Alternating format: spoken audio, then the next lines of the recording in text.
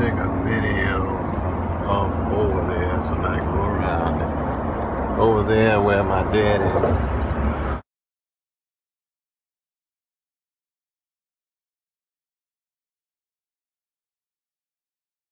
right there in the corner there where that cypress tree is. And daddy's fishing facing that way.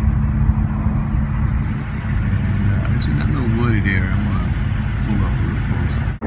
You can see the bridge where we came down, and then there was a little area here, but the water's high.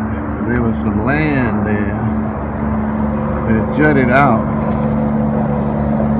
and uh, we could walk out that way.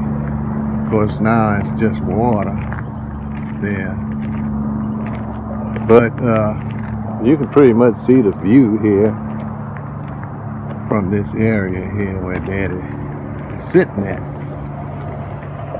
about in there. And I can't go down there but that's the view that he had here. Pretty much that houseboat was there. And I also used to be able to go fishing there. I went along there they had a bank there too. But uh that's Bayou Courtableau coming from uh, Port Barre. Yeah. And I don't know what bayou this is here. That's the picture was taken back in here.